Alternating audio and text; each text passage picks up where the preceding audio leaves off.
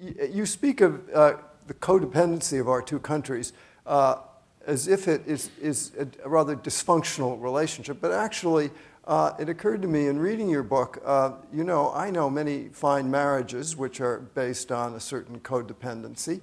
Uh, why is this a bad thing for the US and China to be codependent? Well, it's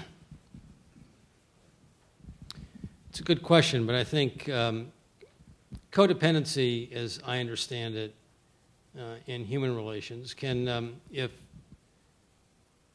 not treated, it can become unhealthy.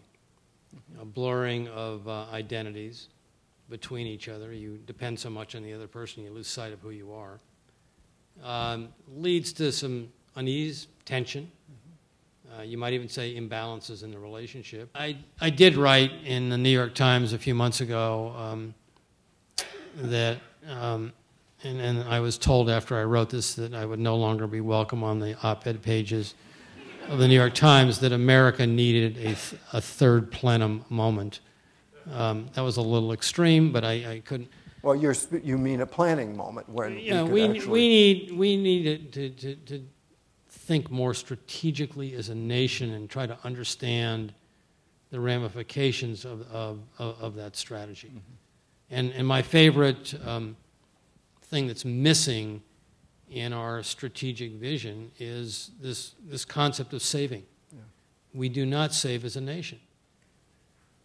I think one of the things that actually encouraged me the most coming out of the third plenum was that they finally seem to be facing up to some of these social pressures, uh, addressing the one child family planning policy uh, nationally as opposed to you know, pilot uh, exemptions. Um, addressing this uh, residential permit system, which, which really disenfranchises this some 270 million migrant workers from getting benefits when, when they, where they work.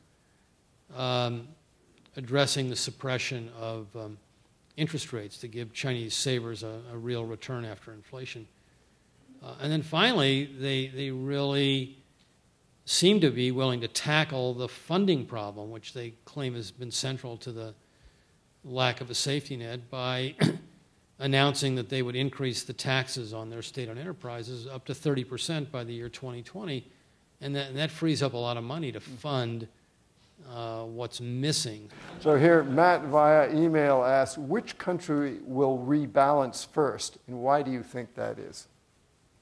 China's moving out of the blocks. They're, they they will rebalance first, uh, and they're making progress right now.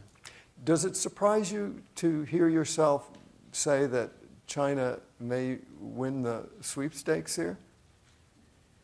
Well, it depends on how you define the sweepstakes. Well, I mean, I mean if, if they're going to manage to rebalance ahead of the United States, that certainly is a credit to them, is it not? The structure of the economy is changing. So, right now, not to get too um, caught up in you know in mundane statistics that you know economics mm-hmm. geeks like myself like to look at. The services sector, which is the neglected sector of, of China, um, the smallest of any major economy in the world, last year uh, finally became the largest sector in China. That those are the signs of a transformation that you want to see.